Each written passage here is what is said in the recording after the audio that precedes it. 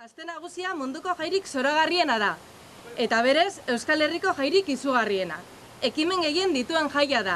Iruren baino gehiago eta guzti guztiak doainik Azteko betiko ekimenak. Pizkanaka, aste nagusiaren klasiko bat bihurtu direan horiek. Lehenengo domekan, txalaparta jaia eta txapelketa. Astelen aste arte, aste azken, ostegun, ostiral eta zapatuan, sake txapelketa. Igela txapelketa astelen eta aste artean. Aerabitoia astelenean. Bertso bat trikikalejira ere astelenean. Muz txapelketa aste artean. Bilbo kantari aste arte, ostegun eta zapatuan. Aste azkenean, bertso bazkaria. Urgiokoak eta piraguak ostiralean. Eta bigarren larun batean, ardo daztaketa eta konpartzen arteko bazkari eta herrikirolak. Badira, urte batzuk, esfortzu garrantzitsu bat egiten ari garela eguneko ekimenak eta umentzako ekimenak bultzatzeko.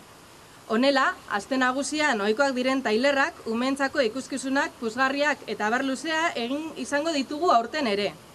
Txikienak eta familiak bederatzi egun hauetan jai esparruan dagoen giroaz goza dezaten.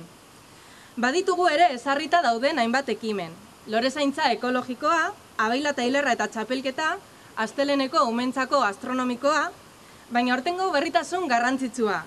Irrien laguna kluba, astelenetik ostegunera jai esparruan zehar, ekimen tailer antzespen eta sorpresa pilo batekin gurekin egongo direla izango da. Y como todos los años, este 2012 no iba a ser menos. También presentamos importantes novedades en las actividades que Bilboco Comparcha ofrece a villanos y visitantes.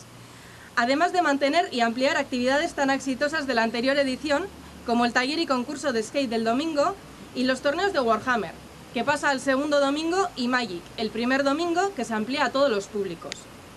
Además, una de nuestras actividades más veteranas y que cuenta con mayor acogida, el Bilbo Cantari, que como sabéis lo hemos continuado realizando durante todo el año 2011-2012, juntándonos todos los segundos de sábado de cada mes, y tal ha sido la aceptación por parte de la gente que hicimos una primera tirada de mil innovadores libros en formato de chapela y que de cara a este nagusia hemos editado el libro con un nuevo formato. Ekitaldi berria hauen artean, alde batetik frontainarra dugu. Hiritar guztientzako ripan jarriko dugu frontoi txikia.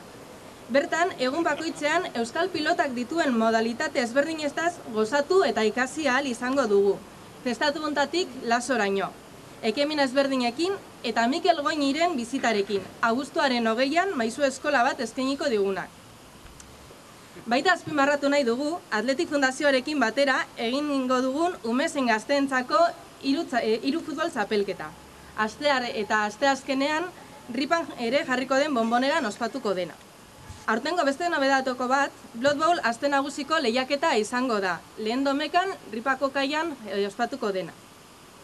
Eta urtero bezala, basurtoko ospitalean dauden umei egiten zaien bizita. Aurten, Euskotrenen laguntzarekin jaigunetik konpartzok, pregoilari, txupenari, txupenera eta marijaioarekin egun horretarako tranbia berezi batean horbildu izango gara.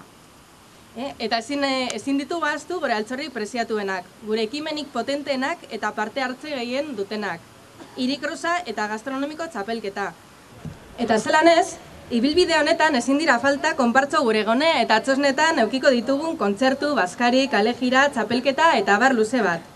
Aipatzeko, e, berrogeta mar kontzertu baino gehiago izango ditugula. Hain aldez, esatek, bendeta, itziarren semeak bezalako e, taldeekin beste batzuen artean. Eta lehen esan dugun bezala, umentzako irurogei aktivitate baino gehiagorerekin. Eh, eta 2008 urteko azten nagusirako bizita gidatu azkar honekin amaitzeko gogoratu nahi dugu aurten eta aurreko urteetan hain arrakastatua izan den edalontzi berrera belgarriak izango ditugula berriz ere. Txosna guztietan eta gainera aurten kubata edalontziak ere izango dugu ezarpenarekin jarraitzeko.